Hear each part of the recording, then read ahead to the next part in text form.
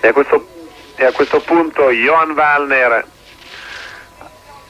sta attaccando a più non posso per cercare di conquistare un'altra medaglia, 94 centesimi di vantaggio per Johan Wallner, eccellente la prestazione nella parte alta della medaglia di bronzo dei mondiali di Salba che sta cercando di difendere e se possibile di migliorare la sua posizione rispetto a quell'occasione. Johan già ieri aveva sciato molto molto bene secondo me. Prossimità dell'intermedio, un errorino, ha perso qualcosa rispetto a Kelly nella parte centrale, ma ha perso di più probabilmente subito dopo l'intermedio. Comunque dovrebbe farcela a passare al comando. 17-27, primo con 36 centesimi di secondo di vantaggio, una medaglia per Johan Wallner è sicura, ora devono scendere ancora Rainer Satzgeber e Shetil Andre Omod, sono ambedue piuttosto inavvicinabili per gli altri se non sbagliano.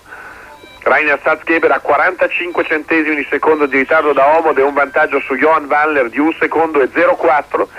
Rainer Satzgeber nato il 26 aprile 67 a Schruns, 1,77 m per 78 kg, il risultato dell'anno un ottavo posto, 91 centesimi di vantaggio, quindi ha perso pochissimo nei confronti di Wallner nella prima parte di gara, fu settimo l'anno scorso alle Olimpiadi di Albertville, Rainer Salzgeber, ieri è stato sicuramente fortunato ma ha anche sciato molto bene, non ha sciato benissimo in quella lunga dove ha messo gli sci parecchio di traverso, comunque dovrebbe essere nettamente avanti, un secondo di vantaggio su Johan Wallner per Rainer Salzgeber.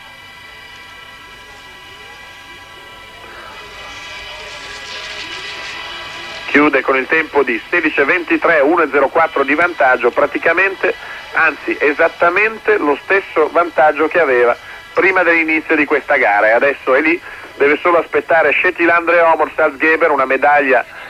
anche per lui è assicurata mentre tocca al norvegese volante Andre Omol 45 centesimi di vantaggio su Rainer Satzgeber è in una condizione di forma straordinaria dopo aver vinto uh grande sta sciando in un modo straordinario Omod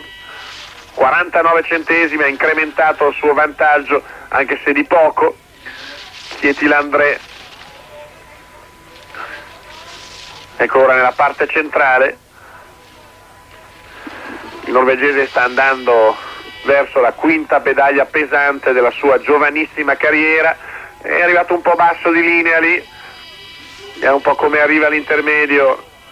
2,25 ha perso qualcosa, ha guadagnato ancora qualcosina, 56 centesimi ora di vantaggio su Salzgeber, non dovrebbero esserci problemi per Shetil André e questi norvegesi stanno veramente massacrando tutta la concorrenza in questi mondiali, primo straordinario Shetil Andre Omod 87 centesimi di vantaggio nei confronti di Rainer Salzgeber 1,91 su Wallner 2,27